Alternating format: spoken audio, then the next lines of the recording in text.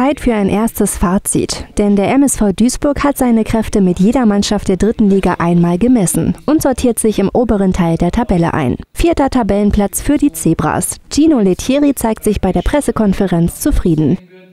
Ja, die Saison habe ich so gesehen, ähm, dass wir hier für mich persönlich einen großen Schritt gemacht haben, dass wir auch äh, äh, über den Schnitt sind.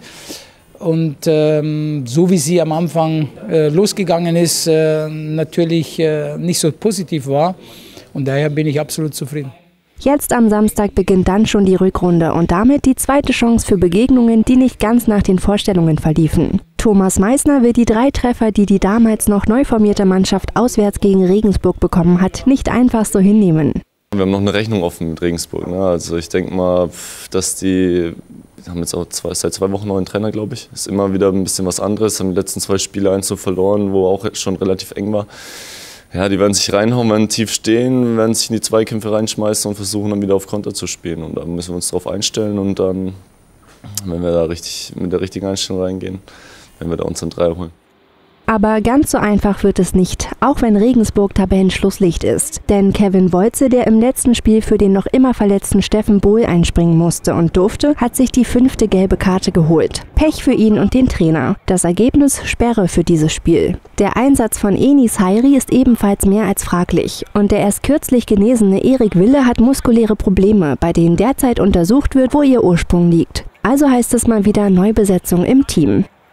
Das ist natürlich, eine kleine Umstellung ist immer da, aber ich denke mal, dass jeder weiß auf seiner Position, was zu tun ist und dass unser Konkurrenzkampf auch trotzdem noch groß ist und ähm, jeder einfach von der Leistungsgrenze so gut dabei ist, dass es im Prinzip dann egal ist, wer innen spielt, weil ich habe jetzt mit mehreren ja schon innen gespielt. Es war immer eigentlich ordentlich, sage ich jetzt mal, von daher passt es schon, wie es läuft. Also Thomas Meissner bleibt entspannt und er freut sich auf das Spiel. Denn es ist schließlich nicht nur Rückrundenauftakt, sondern auch noch Nikolaus. Und auf Weihnachtsstimmung will der Verteidiger trotz Ligaspiel nicht verzichten. Abends geht es zu den Fanclubs, tagsüber freut er sich auf Unterstützung von daheim. Also meine Familie ist zwar hier, äh, meine Mama hat auch am Sonntag dann Geburtstag. Ähm, aber so von der, von der Aktion ist es schon cool, auf jeden Fall mit den Leuten dann auch zusammenzusitzen, ein bisschen zu quatschen. Ist schon ein schönes Erlebnis.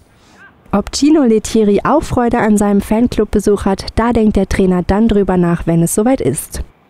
Für mich ist erst einmal äh, wichtig, dass wir uns auf dieses Spiel konzentrieren, dass wir die drei Punkte holen. Und wenn das alles klappt, dann äh, werde ich mir das drumherum auch mal anschauen.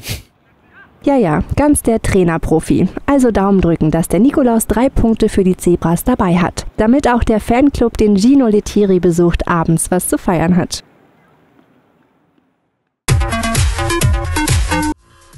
20. Spieltag in der dritten Liga. Der MSV Duisburg empfängt den SSV Jan Regensburg und lässt sich für diesen Tag etwas ganz Besonderes einfallen. Für eine Spende von mindestens einem Euro gibt es blau-weiß gestreifte Nikolausmützen. Der Erlös der Aktion geht an den Verein Zebra Kids e.V., der benachteiligten Kindern in Duisburg Events rund um den MSV ermöglicht. Erhältlich sind die Mützen im Zebra-Shop in der Schauensland Reisen Arena und bei Verkaufsständen im Stadion. Zugunsten der Zebra Kids e.V. führt der MSV Duisburg auch die Weihnachtswunschbaumaktion Aktion durch, bei der Heimkinder ihre Weihnachtswünsche von maximal 30 Euro an einen Tannenbaum im Foyer der Arena gehängt haben. Wer etwas Gutes tun möchte, kann sich einen Zettel nehmen und einen Wunsch erfüllen.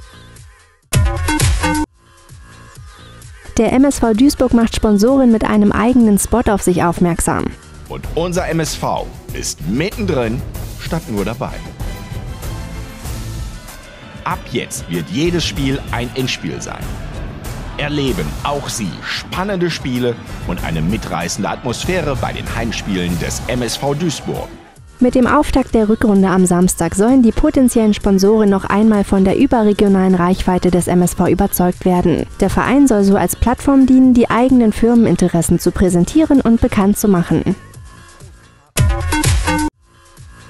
Rückrundenauftakt auch bei den Zebra-Damen. Die Bundesligamannschaft des MSV Duisburg startet einen Tag nach den Herren mit einem Spiel gegen SGS Essen in die zweite Saisonhälfte. Bisher konnte die Frauenmannschaft aus elf Spielen nur sechs Punkte holen. Das Team unter Cheftrainerin Inka Grings befindet sich damit auf dem elften und vorletzten Tabellenplatz.